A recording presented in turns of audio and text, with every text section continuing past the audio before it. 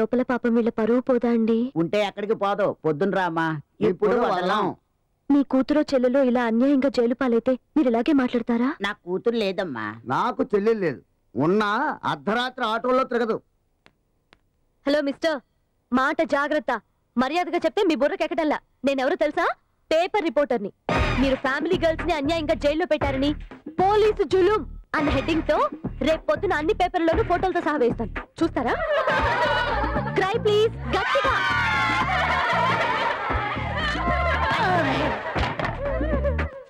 పేపర్లో మీ ఫోటోలు కూడా చూసుకోండి రేపు. ఎవరిది?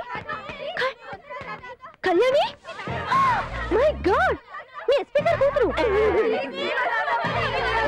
ఏవే కళ్యాణి? ఇడియట్ మీ నాన్న ఎస్పీ అని ఎందుకు చెప్పలేదు?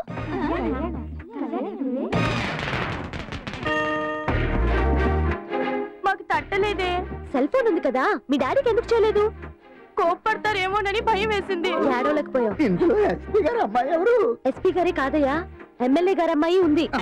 మా ఎడిటర్ గారి చెల్లెలు ఆ అమ్మాయి. బాగుంది. నువ్వు ఉన్నావు? పీడబ్ల్యూడి చీఫ్ ఇంజనీర్ గారి అమ్మాయి. తెలుసా?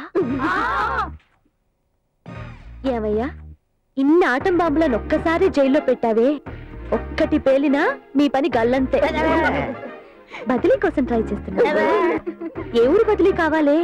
దుమ్ములగూడెమా కుయ్యలగూడెమా అండమాన్సా ఒకసారి ఎస్పీ గారికి ఫోన్ కలుపు. వద్దులే. కళ్యాణి డాడీకి ఫోన్ చేయి.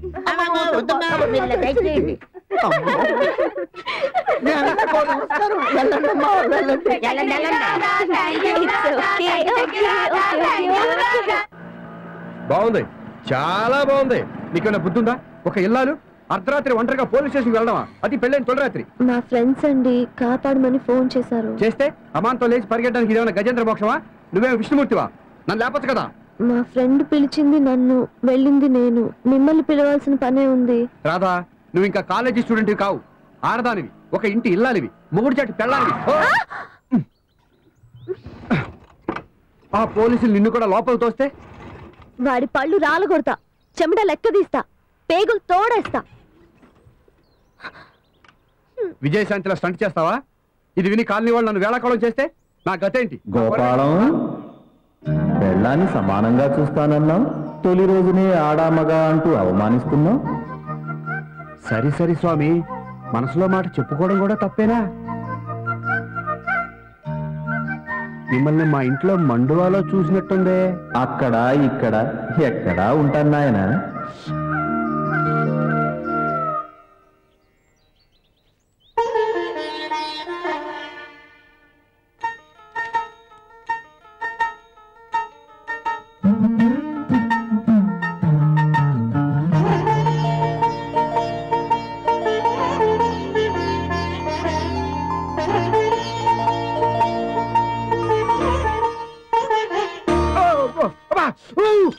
అబ్బా, కాఫీ, వేడి.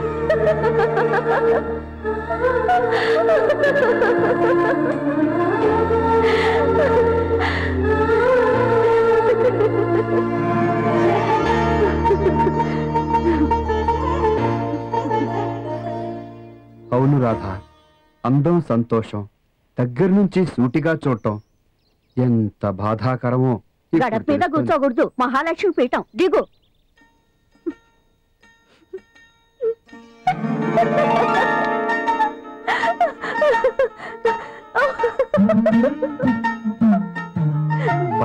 అలా నవ్వుతే ఏ మొగుడు తట్టుకోగలడు?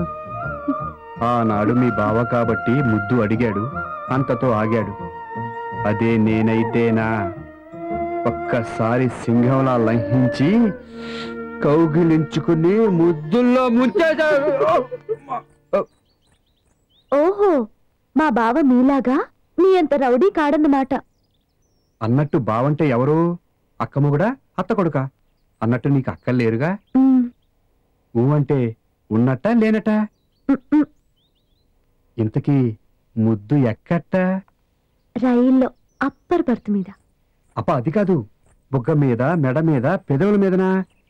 ఇంతకీ ఆ పూట ఏం జరిగిందట? పాపం అతగాడు అడిగిన ముద్దు నువ్వు ఇచ్చినట్ట అతను పుచ్చుకున్నట్ట?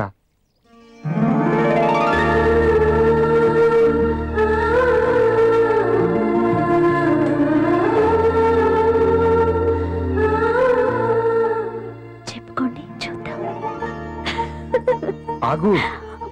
అడిగిన దానికి జవాబు చెప్పినట్టు లేదు? మరే చెప్పనట్టున్నాను. అదే చెప్పేట్టు లేవు.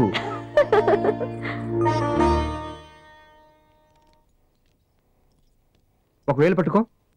దేనికి? ఇచ్చినట్ట పుచ్చుకున్నట్ట. నట్టు లేదు బొట్టు లేదు. పొండి.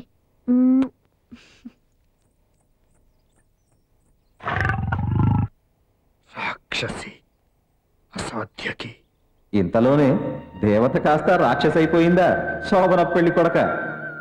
ప్రేమించు రోజుల్లో ప్యూరు గోల్డేనమ్మ శ్రీ సూర్యనారాయణ. పెళ్ళైన మర్నాడు రోల్డ్ గోల్డ్ అయిపాయే శ్రీ సూర్యనారాయణ. దెప్పనక్కర్లేదు స్వామి. నేను అప్పుడు ఇప్పుడు ఎప్పుడు ఒకటే మాట. మా రాధమ్మ బంగారమ్మ. నిత్య బంగారమ్మ.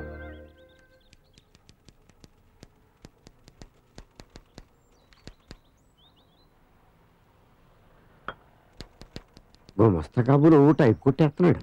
గుమస్తా ఎంత దాపు సరుకుంటే ఇంక మన వకీల్ అమ్మగారు ఎంత సేప అవసుకుంటుందో ఖర్చు అవుతుంది మరి. అయితే నువ్వు పని చూడు ముందు. ఓర్ రావా. గుమస్తా గారు గుడ్ మార్నింగ్ అండి. అమ్మగారు ఉన్నారండి? అమ్మగారు మీరెవరు? నా పేరు అత్తగారు ధర్మారావు అండి. గిట్టిన వాళ్ళందరూ అధర్మారావుని ఎక్కిరిస్తుంటారండి. కానీ నేను ఎప్పుడు ధర్మంతో పోటాడతానండి. అమ్మగారు ఉన్నారండి? కూకోండి కూకోండి కూకోండి. వీరి పేరు పైకోర్టు పాపారావు అండి. ఏ కోర్టులో ఏం జరిగినా పైకోర్టుకి వెళ్ళిపోతారండి. కోర్టు వాద్యాల కోసం పాతిక ఎకరాల మాగాని రెండు మేళ్ళలో తెగనం వేశారండి అయినా అమ్మగారు ఉన్నారండి. ఏంట్రాయ్ అమ్మగారు అమ్మగారు అమ్మగారు? అంటున్నాడు అనుకుంటున్నారా? ఆయన అమ్మగారు మా ఊరేనండి. ఆ తండ్రి గారు జడ్జి జగన్నాథ్ గారు కూడా మాకు బాగా తెలుసండి. ఆ రోజుల్లో ఆయన వకీలుగా పనిచేసే రోజుల్లో ఆయన దగ్గరికి రెండు మటర్ కేసులు తీసుకెళ్ళానండి ఆయన అచ్చగాని చెప్పేసి కొట్టారండి. చిరునవ్వుకుని ఆయన ముక్కుసుడి మనిషి కదండి. ఆ చెప్పులు పూర్లో పెట్టి ఆయన కాళ్ళ దగ్గర పెట్టారండి. అప్పటి నుంచి మనం అంటే ఆయన గొప్ప ఇదండి. సాఫ్ట్ ఎన్నలాగా. అమ్మగారు ఉన్నారండి కేసు ఏంటో నాకు చెప్పు. అమ్మగారు చెప్తాను. మీకు చెప్పకుండానా? ఓదారి తర్వాత దేవుడు. ఇదిగోనండి ఈ ఎండిపోయిన కందపిల్లక ఎలకలాగా ఉంది కానీ ఏనుకంత కేసు. ఈ సేలో ఈ కందన ఆటారండి అది తీగపాకి పక్కోడి సేలో దుంప దిగిందండి. ఆరికి తెలవక ఆ కంద సగం తరిగి ఆ దుంప కోసుకు తినేశారండి. ఆరుసేలో దుంప ఆరు కోసుకుంటే తప్పేంటి?